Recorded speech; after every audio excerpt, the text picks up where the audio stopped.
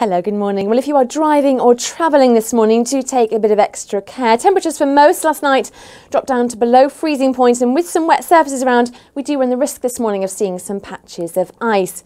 Aside from that, though, it will be another chilly day today, but with a lot of dry and bright weather around. So there may be some patches of frost at first thing as well to contend with.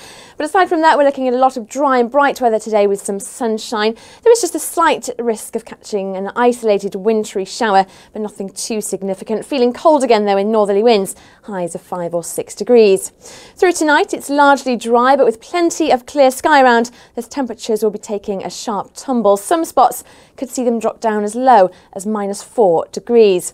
So a cold and frosty start to Thursday. It's another chilly day tomorrow with more in the way of cloud around before it turns less cold by Friday.